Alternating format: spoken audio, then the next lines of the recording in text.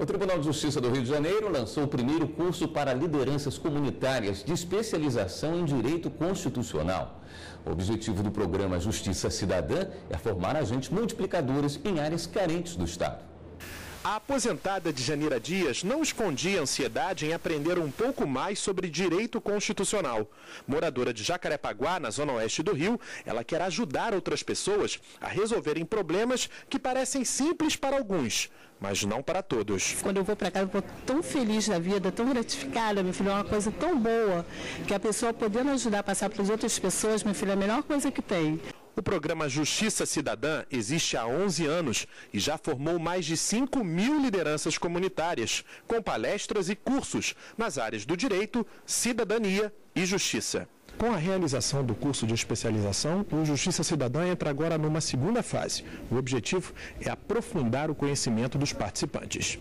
A idealizadora e coordenadora do Justiça Cidadã, desembargadora Cristina Gaulha, disse que o objetivo é formar agentes multiplicadores que já participaram de outros cursos é uma fase de aprofundamento, ou seja, todas aquelas pessoas que já cursaram a nossa turma regular podem agora se inscrever em cursos de aprofundamento e especialização. A ideia é que elas consigam manusear com mais intimidade, a gente poderia até usar essa palavra, a Constituição Federal.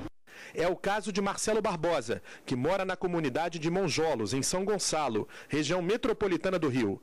Integrante de um centro social da região, ele diz que vai auxiliar os moradores a resolverem seus problemas com a Previdência.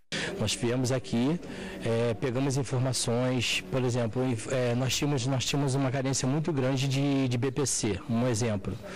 E aqui, através das pessoas, das reciclagens também que nós tivemos, é, hoje nós encaminhamos as pessoas para a BPC, ou seja, o Programa da Previdência Social.